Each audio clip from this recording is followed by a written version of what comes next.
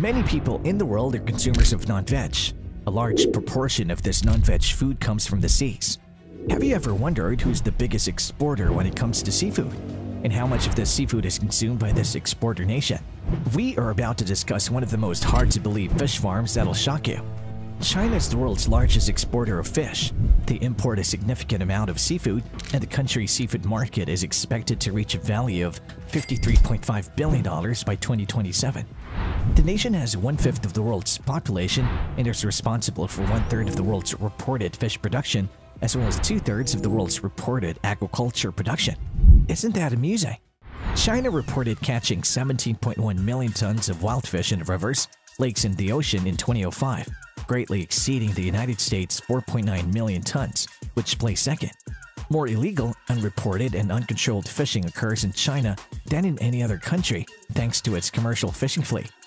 Two-thirds of China's reportedly produced fish are raised through aquaculture, which involves keeping fish in ponds, lakes, and tanks. They reported a harvest of 32.4 million tons in 2005, more than 10 times that of India, which came in second with 2.8 million tons. By 2027, it is anticipated that the aquaculture market in the nation will be worth $177.3 billion. Guangdong, Shandong, Fujian, Jiangsu, and Hubei are the main aquaculture producing provinces in China. The major aquaculture producing regions are often clustered in the coastal regions. The seas surrounding the Galapagos Islands are frequently visited by a sizable Chinese fishing fleet of hundreds of ships. The reefer vessel Fu Yuan Yu Leng 999, which had almost 6,000 frozen sharks, including whale sharks, was taken by the Ecuadorian Navy in the Galapagos Marine Reserve in 2017. Each member of the crew was found guilty of unlawful fishing and given a four-year prison sentence. The vessel's owner was also fined $6 million. Authorities and members of Ecuador's civil society accused the Chinese of fishing without regard for the rules or the law. China is also expanding its offshore fish farms, has large-scale salmon farms in the Yellow Sea, and plans to build the first large-scale fish farming vessel of 100,000 tons by March 2022. China has been the world's top supplier of fish and fish products since 2002. Can you make a rough estimate of how much these exchanges might come down to? Aquatic plants were included in exports worth $7.7 billion in 2005, with the primary markets being the United States, Japan, and the Republic of Korea. They imported a total of $4 billion worth of fish and fish products in 2005, ranking 6th among all countries. According to her reported returns, China consumed 25.8 kilograms of fish per capita in 2003, which was higher than the anticipated 16.5 kilograms per person for the rest of the world. In 2010, this country produced 60% of the world's aquaculture by volume and employed 14.5 million people, 26% of the world's population in fishing and aquaculture or FAO. The world's most highly supported fishing sector is in China.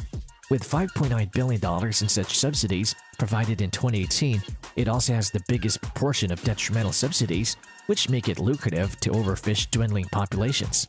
This contrasts with the detrimental subsidies provided by the United States, $1.1 billion, the European Union, $2 billion, and Japan, $2.1 billion.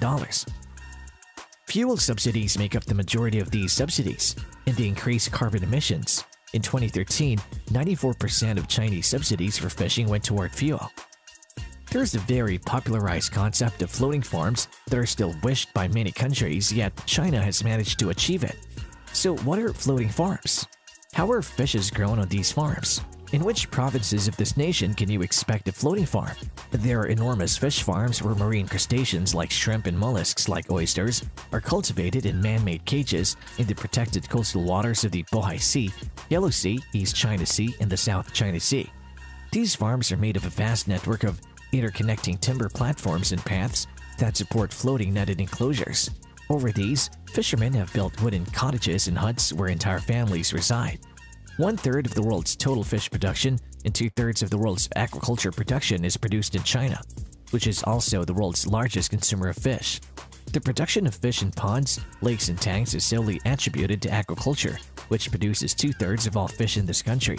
Fish farming has been practiced in this nation for more than 3,000 years, but the sector truly took off in the 1990s.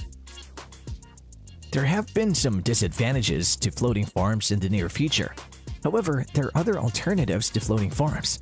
One of them is inland agriculture. So what is inland agriculture?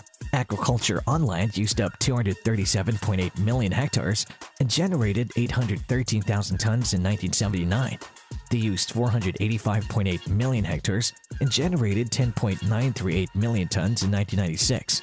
Inland agriculture generated 100,000 tons in that year in 17 provinces. Pond culture is the most popular method of inland aquaculture, 73.9% in 1996. The Pearl River Basin and the Yangtze River have the greatest concentration of these ponds. Anhui, Guangdong, Hubei, Henan, Jiangsu, Jiangxi, and Shandong are among the seven provinces they cover. The government has also supported developments in rural areas to get rid of poverty. The industry is important in terms of nutrition since it expands seafood consumption in inland regions where it has historically been low. Agriculture on land used up 237.8 million hectares and generated 813,000 tons in 1979. They used 485.8 million hectares and generated 10.938 million tons in 1996. Inland agriculture generated 100,000 tons in that year in 17 provinces.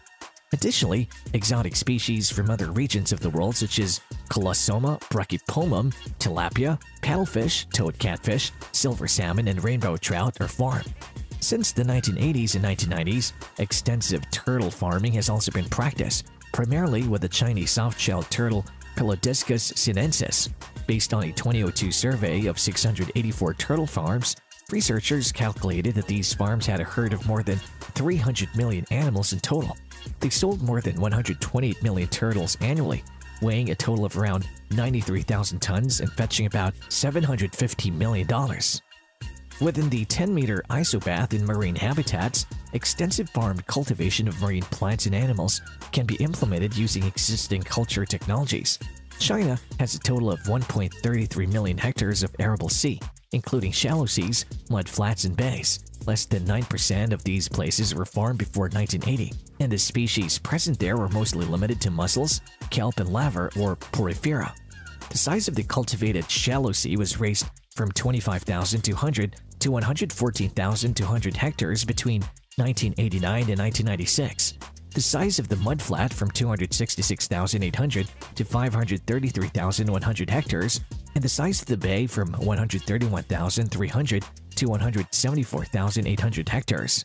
415,100 tons were produced on 117,000 hectares in 1979 and 4.38 million tons on 822,000 hectares in 1996. The government has promoted the importation of numerous marine species since the 1980s, such as the big shrimp or prawn Penaeus chinensis, as well as scallop, mussel, sea bream, abalone, grouper, tilapia, and the mud mangrove crab Scylla serrata. China was the world's greatest producer of farmed shrimp in 1989, with 186,000 tons produced. Infected by a viral illness in 1993, production fell to 89,000 tons by 1996. This was ascribed to poor management practices, such as overfeeding and high stock densities. Reg Watson and Daniel Pauly, two fisheries scientists, expressed their concerns in a letter to Nature in 2001 about China's overreporting of its wild fisheries catch in the 1990s.